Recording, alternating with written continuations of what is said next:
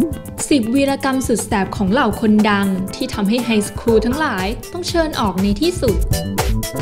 1. อัลเบิร์ตไอน์สไตน์เริ่มกันที่เจ้าของรางวัลโนเบล อย่างอัลเบิร์ตไอน์สไตน์ต้นแบบของคนที่ถูกไล่ออก แต่กลับมาประสบความสำเร็จได้อย่างที่ปริญญาใบหนึ่งให้เขาไม่ได้แน่ๆ ว่ากันว่าสาเหตุที่อัลเบิร์ตโดนไล่ออกนั้นมาจากความขี้เกียจและทัศนคติแย่ๆของเขา สุดท้ายเขาเลยตัดสินใจเลิกเรียนไฮสคูลด้วยอายุเพียง 15 ปีเท่านั้น 2. อเดล หลายคนรู้จักอเดลในมาดของศิลปินสาวที่มีเสียงทรงพลัง แต่ไม่ใช่แค่พลังเสียงของเธอเท่านั้นที่ทรงพลัง เพราะพลังกายของเธอก็ทรงพลังจนทำให้เธอถูกไล่ออกจากโรงเรียนมาแล้ว สาเหตุก็เกิดจากเพื่อนร่วมห้องของเธอ ดันไปล้อเลียนกาเร็ธ เกตส์นักร้องคนโปรดของเธอเข้า จึงกลายเป็นเรื่องทะเลาะวิวาทในที่สุด 3. โรเบิร์ตแพตตินสันด้านแวมไพร์ที่มัดใจสาวๆทั่วโลกอย่างโรเบิร์ตแพตตินสันก็ออกมายอมรับเองเลยว่า ตอนเรียนอยู่ high school นั้นเกเรสุดๆ และแถมยังไม่เคยทำการบ้านส่งเลยสักครั้ง สุดท้ายจึงถูกไล่ออกมาตามระเบียบนั่นเอง 4. คอร์ตนีย์ เลิฟถือเป็นนักเรียนที่ดื้อมากคนหนึ่งเลยก็ว่าได้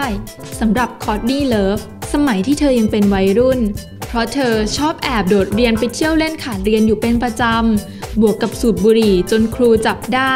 จึงถูกไล่ออกในเวลาไม่กี่วันต่อมา 5. โอเวนวิลสันสำหรับหนุ่มคนนี้เขาก็เคยมีช่วงเวลาที่ยากลำบากสมัยอยู่ high school เหมือนกัน หลังจากที่โรงเรียนจับได้ว่าโอเว่นโกงข้อสอบ เขาก็ถูกไล่ออกในทันที โชคดีที่โอเว่นเลือกไปเรียนต่อที่โรงเรียนทหาร จนในที่สุดเขาก็สามารถจบ high school ได้นั่นเอง 6. ลิลลี่อัลเลน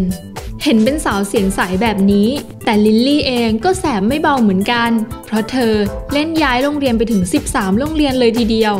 โดยข้อหาที่ทำให้เธอต้องถูกย้ายหรือไล่ออกนั้น ก็คือทะเลาะวิวาท สูบบุหรี่ ดื่มเหล้าและผลการเรียนที่ลังถ่ายแบบสุดๆ 7. อีริกแคปตันมือกีตาร์ระดับตำนาน ที่ยังไม่เป็นตำนานอย่างอีริกแคปตัน เข้าเรียนที่ Kingston College of Art ได้ไม่นานก็ถูกไล่ออกซะก่อน สาเหตุเพราะเขาทุ่มเวลาให้กับการเล่นกีตาร์มากจนเกินไปจนเสียการเรียน แต่เพราะการเล่นและซ้อมหนักนี่แหละ ที่ทำให้เขาเข้าถึงดนตรีร็อกได้อย่างแท้จริง 8. Snoop Dogg ด้วยความที่เป็น Snoop Dogg หลายคนคงคิดว่าเขาต้องถูกไล่ออกจากโรงเรียน เพราะข้อหาสูบบุหรี่หรือดื่มเหล้าแน่ ๆ แต่ไม่ใช่เลย เพราะว่า Snoop Dogg ถูกไล่ออกด้วยข้อหาทำอนาจารตั้งแต่สมัยประถมแล้ว งานนี้ต้องเรียกว่าตัวพ่อมาเองเลยจริง ๆ